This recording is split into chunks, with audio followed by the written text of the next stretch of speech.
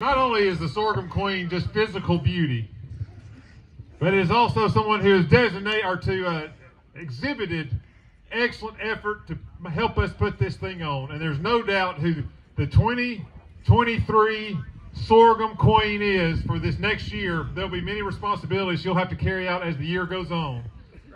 Representation, Christmas parades, things of that nature.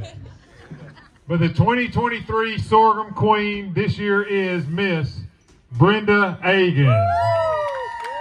Come on, Brenda.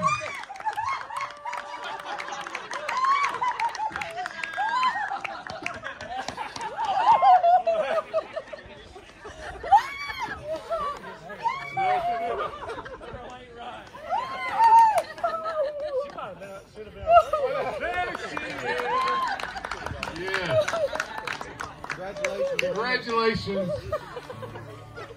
It comes